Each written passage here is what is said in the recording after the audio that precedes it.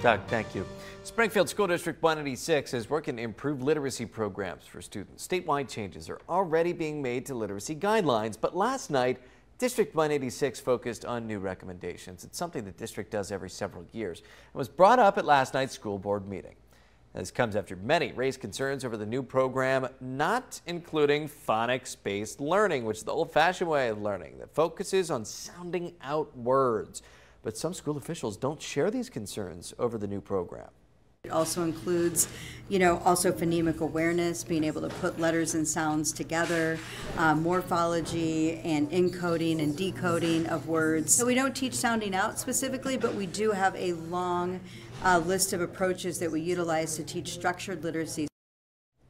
The new elementary curriculum is proposed to be called Benchmark Advanced. Now, the district says it focuses on the teaching side and gives educators more tools to identify when a student isn't picking up quickly.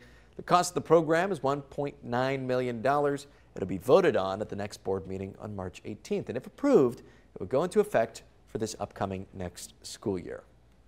This comes as a report shows many Illinois kids are not reading at their level. Many officials say it's time to make a change. And our Carson Gordy met with local teachers and has more on how they're working to improve education in our state.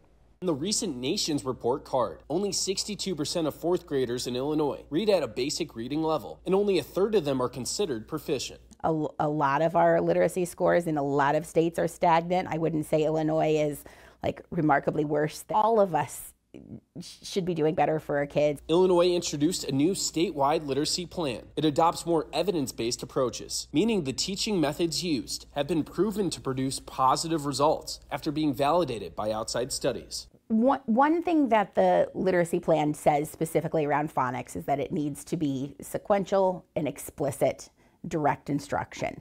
According to the National Literacy Trust, phonics helps kids blend sounds of letters together and helps them decode unfamiliar or unknown words by sounding them out. Because, yeah, a lot of times it's, you know, there's a cat because it's a picture of a cat, but you don't know that, uh, at, you know you don't know how to break that down. So. But many schools in the state utilize picture books or memorization to learn more words. But Handy says that method can become less effective over time as words become more complex and longer. Kindergarten, first grade, second grade, they can fake it pretty well. You know, third grade, fourth grade, the pictures are gone, and now that kid is really struggling to understand what they read. School districts in Illinois are not required to adopt the statewide literacy plan. It's optional. We're, we're hopeful that it'll catch on in more places. I think we're already we're already already really seeing that. We're already seeing uh, quite a bit of support on the ground for, for school districts.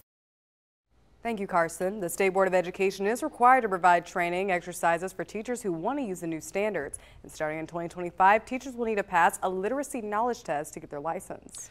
And in honor of National Reading Month, Sinclair Broadcast Group is partnering with Reading is Fundamental to support children's literacy.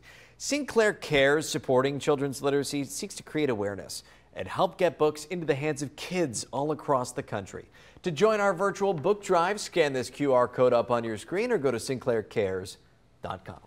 Don't miss a video. Subscribe to our YouTube channel today for more Central Illinois news.